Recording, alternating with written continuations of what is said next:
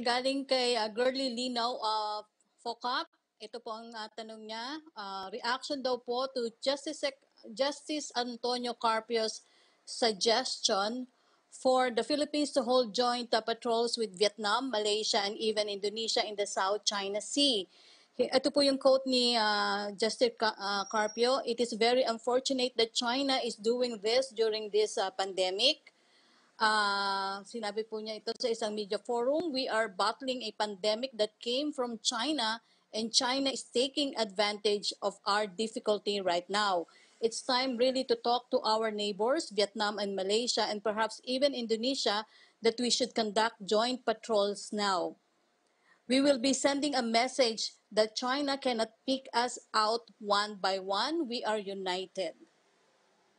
Suggestion well taken, although we do not agree po with the personal opinions of uh, Justice Carpio on what China is doing.